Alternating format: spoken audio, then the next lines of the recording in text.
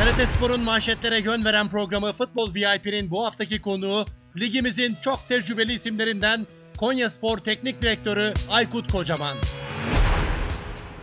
Kocaman'dan gündem oluşturacak bomba açıklamalar. Daha evvel söylemiş miyim bilmiyorum ama en azından şimdi sorduğun için söylüyorum. Ben Fenerbahçe'ye gelirken de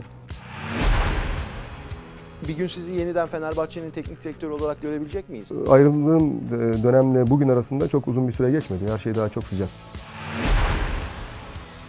Ya Alex meselesini biraz taraftara anlatır mısınız? Olay öyle bir hale getirildi ki sanki tamamen bir iki